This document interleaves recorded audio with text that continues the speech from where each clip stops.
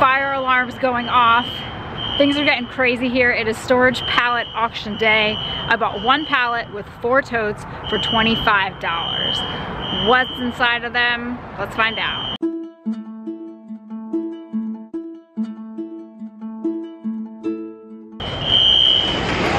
This one's heavy. Oh my gosh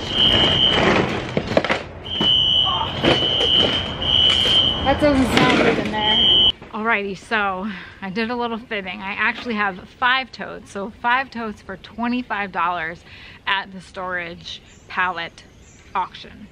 So yes, everything is on pallets and you have to take everything except the pallet. So uh, fortunately, Taco Stacks was also at this auction, so I could put my totes in his van. These totes would have fit in my vehicle, um, but you have to remember that when you go to these auctions, you have to take everything. So if you're bidding on a pallet that has a couch, a chair, a desk, you gotta take it. But $25 for five totes. We can look or peek in the totes on the top. You can't like rearrange and start digging. So this tote, the one tote that I looked at, had paperwork and I think a DVD player, I don't know, maybe there's some unused gift cards in there.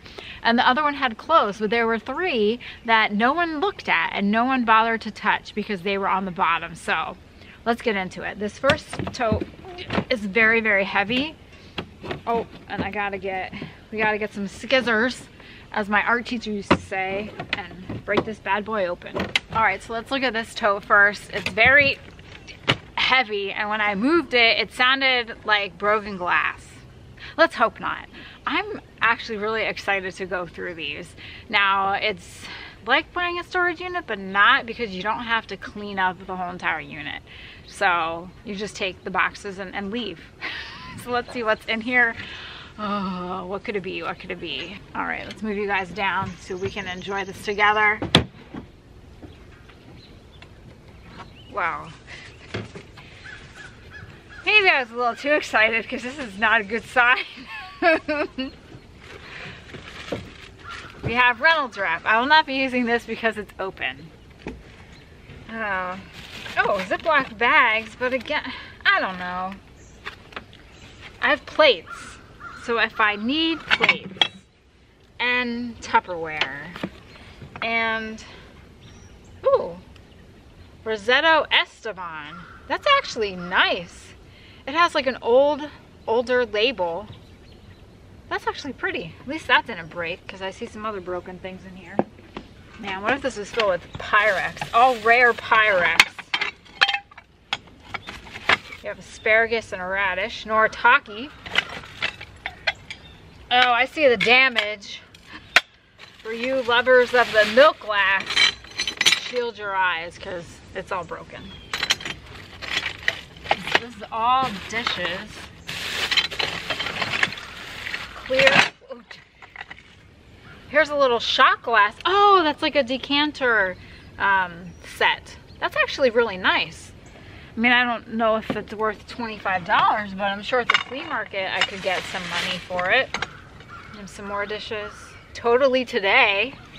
Made in China. More broken glassware. I want to get to the wrap stuff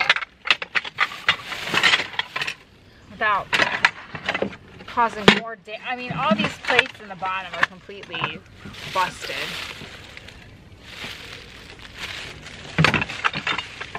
What's this cutie? Oh, this is adorable.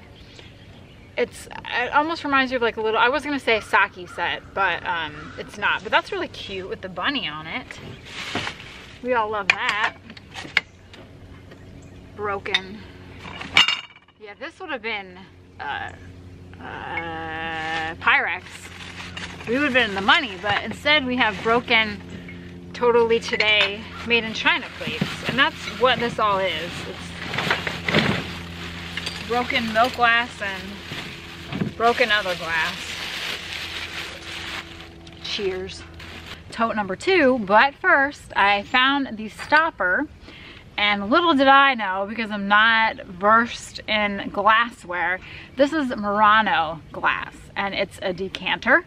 Hopefully the other uh, little glasses are in the tote amongst all the broken things and they're not broken. So I, I don't know. You know, prices are crazy. People have them on Etsy. They're sold on Etsy. They're sold on eBay. They're sold on WorthPoint. So we'll have to see, but hey. I think that's pretty nice to find that amongst all that broken milk glass. So let's get to tote number two. Shoes. Let's tilt it so you can see. Oh, wait, hold on. Maybe there are ties? Ties. Palo, Palo di Quinto. 100% silk made in Italy. This is all ties. You need a tie? I have a few. Bill Kaiserman, Raphael. I know nothing about ties as well, so. Countess uh, Wara, I think, New York. So these look like a little bit older. Anton's Gentleman Apparel, but a whole, this is Perry Ellis. That's a little bit newerish. Shoot, you could have, I could, I might have a good tie in here. I was not expecting ties. This one looks kind of fancy. Look at that guy.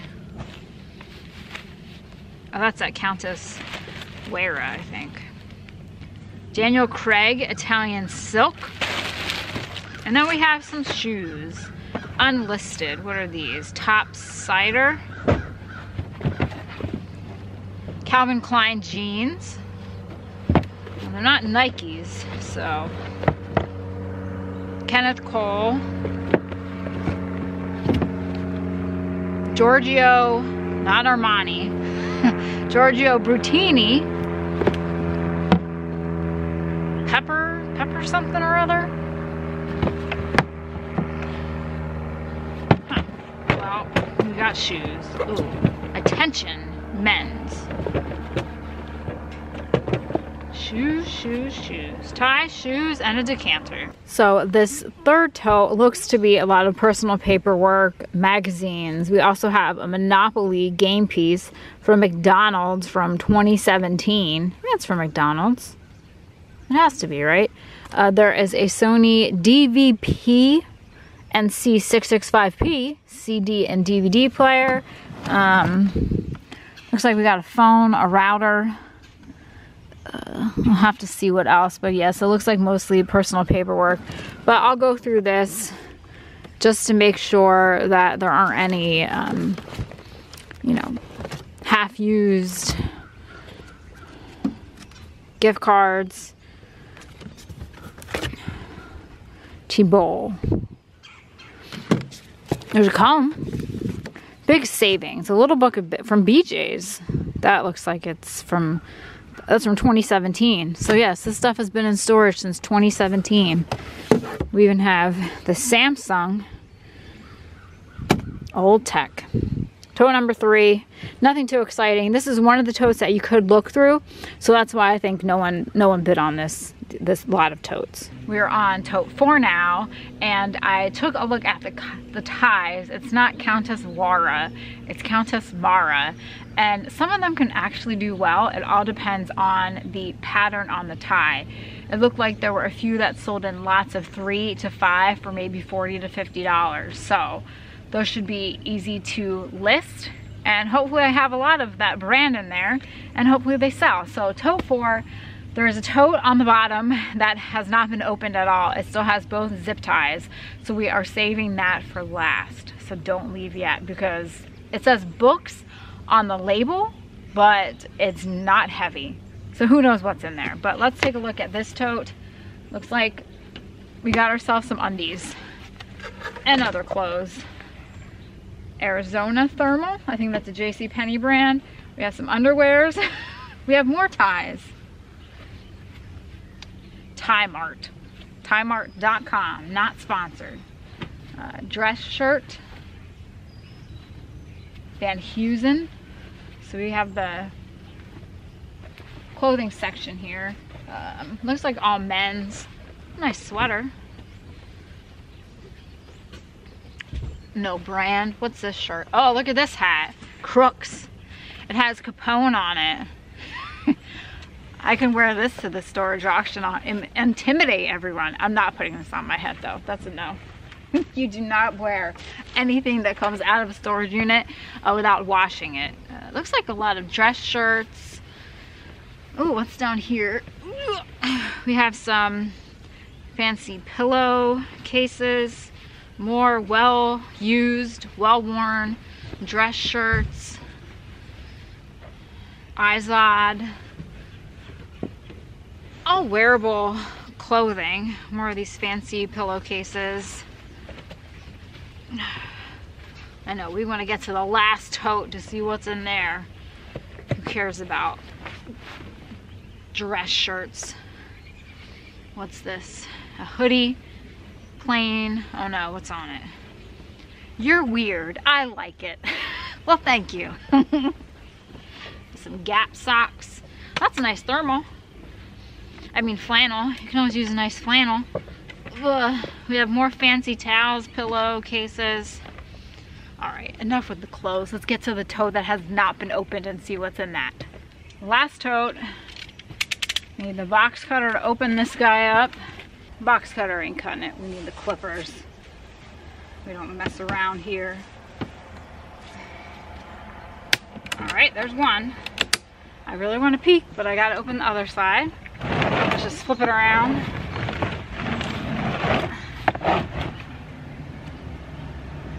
I'll do this side. All right, this is it. This can make or break the $25 that I spent. I'm gonna close my eyes, tilt it. well, it is not books. What the heck? We got some white, white jeans. Axios. Product of quality researched and tested. Never heard of the brand. We got another pair. Oh my gosh, we got a vest. This is fancy. Another Axios, made in China. Wear that with your Al Capone hat and you're gonna be looking good. I was kind of hoping for books. Look at these, another dress shirt. I think we got a whole, we got one that's like, this is bedazzled. Oh, what is this? Did they make this? Did it come like this? They made this. Victorio, Vittorio St. Angelo, but I'm pretty sure they used their own puff paint. Maybe they didn't. I don't, I don't know. No, look at that. They had, made in China. They had to use their own puff paint on this. We're bringing back the puff paint craze. Remember that? I did that. Oh, there's some jeans. Okay, we got some shoes. Maybe these will save this tote. What's this guy? Let's wait on the shoes. We got a belt buckle. More towels. Shower curtain. we got disappointment. I'm not too disappointed. Oh, we have more shoes. Calvin Klein. Oh, this is the matching one for the other another box. These guys look a little worn. Got there's shoes galore on the bottom. Michael Kors jeans. Those are nice. They have a nice sweater. And then that Axios. I'm probably not even pronouncing it right, but all right, let's look at these shoes. This is it. This is the last thing for my $25 gamble. They wrapped them, so they must be pretty good. Calvin Klein. Those are shiny.